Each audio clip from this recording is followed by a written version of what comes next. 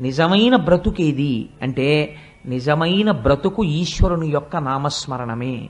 భగవంతుడి నామమును ఎవరు స్మరిస్తాడో వాడు మాత్రమే బ్రతికి ఉన్నవాడు.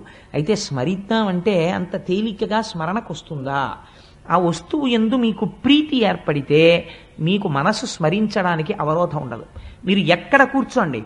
మీకు ఏ వస్తువు ఇష్టమో ఆ వస్తువుని స్మరిస్తుంది. ఎందుకు ఇష్టం? ఎందుకు స్మరిస్తోంది? మనస్సు ఆ వస్తువు ఎందు ప్రీతి చెందింది కాబట్టి స్మరిస్తోంది. ఈశ్వరుణ్ణి ఎందుకు స్మరించడం లేదు? అంటే ఈశ్వరుడు ఎందు ప్రీతి చెందలేదు కనుక ఆ ప్రీతి ఎందుకు ఏర్పడలేదు? ఇప్పుడు మనస్సుకి భగవంతుని పట్ల ప్రీతితో తిరగడానికి కావలసినటువంటి బలాన్ని వ్యాస భగవానుడు భాగవతమనందు ప్రతిపాదన చేస్తారు.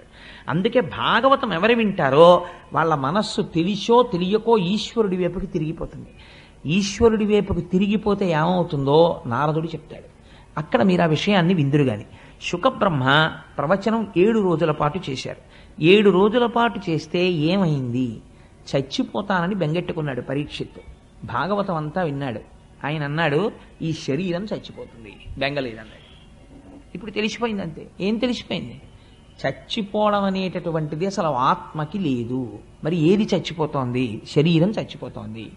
పుణ్యం చేసినా యజ్ఞం చేసినా యాగం చేసినా తపస్సు చేసినా అశ్వమేధయాగములు చేసినా తాను ధనస్సు పట్టుకని దేవతల పక్షాన నిలబడి యుద్ధం చేసినా కల్పములు మారిపోయినా యుగాలు మారిపోయినా శరీరము పడకుండా ఉంటుందా? ఉండదు పడి తీరుతుంది. ఎంతటి వాళ్ళ శరీరము పడిపోయింది? ధ్రువుడంతటి వాడి శరీరం పడిపోయింది.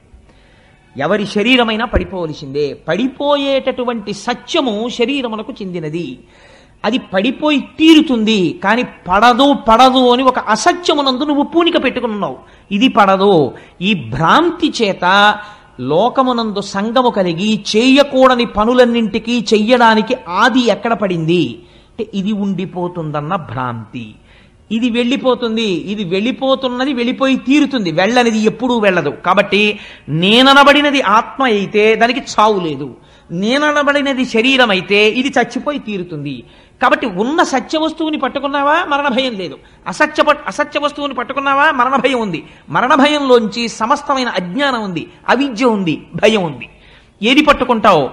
సత్యాన్ని పట్టుకో. అంత తేలిగ్గా పట్టుకోగలవా? భాగవతం విన్నవాడు పట్టుకోగలడు.